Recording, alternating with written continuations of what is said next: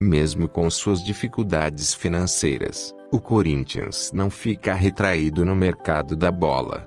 No entanto, a diretoria alvinegra não vem obtendo muito sucesso nas contratações. Mesmo assim, nomes pedidos por Thiago Nunes são acionados pela alta cúpula do timão. No entanto, um dos problemas da direção corintiana que vem incomodando a torcida é a forma com que as categorias de base são tratadas. Isso faz com que o clube perca alguns de seus principais jovens promissores precocemente para equipes do futebol exterior.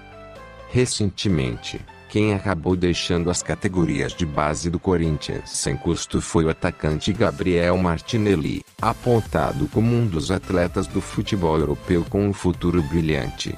Ele vem conquistando a torcida do Arsenal a cada partida jogada, chegando a ser cogitado na seleção brasileira. O atacante chegou a atuar na base do timão por cerca de sete anos, mas teve que se mudar para o interior de São Paulo por motivos familiares. Por lá, Martinelli chamou a atenção do Ituano, onde se destacou rapidamente. A partir daí, o Corinthians tentou acertar sua contratação. De acordo com o jornalista Paulo Vinicius Coelho, o Corinthians entrou forte na briga com o Arsenal para acertar o retorno do atleta. No entanto, o atacante optou por atuar pelo clube inglês, onde está conquistando seu espaço no decorrer das partidas.